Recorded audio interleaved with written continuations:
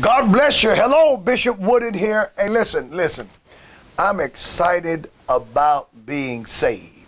Aren't you glad that you're saved, my friends? Those who are watching, just saved, saved, washed in the blood of Jesus, sanctified by the word of God, and is constantly being sanctified.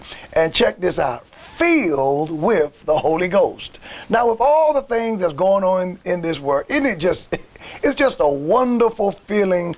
It's good to be excited about simply being washed in the blood of the Lamb, and, and then to find out that this God whom we serve, the God of the Bible, the God and Father of our Lord and Savior Jesus Christ, not only does he cast out devils, not only does he heal our bodies, not only does he save our souls, but he is concerned with our day to day routine.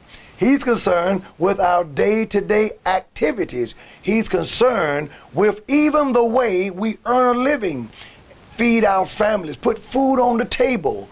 He's concerned about everything that has anything to do with us. And tonight I am going to be talking about this great God of the Bible, our Lord Jesus Christ, how he has offered us a better deal. What Jesus Christ offers is better than any and everything that the world and Satan has to offer. But you know what? You got to recognize it. You got to know, my friends. You got to know that that as a result of, result of being saved and washed in the blood of Jesus, you're in an advantaged position. You've got to recognize that Christ plus one is the majority.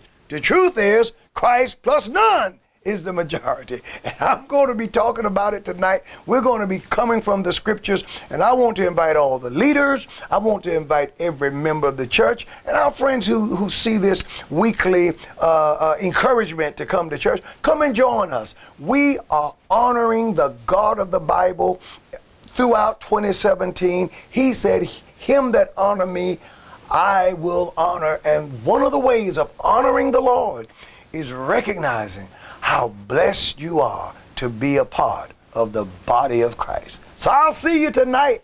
We're going to walk in the scripture. Meet me here at the Upper Room Church of God in Christ. I'm going to teach for about an hour, so come on time and hear the word of God. See you tonight.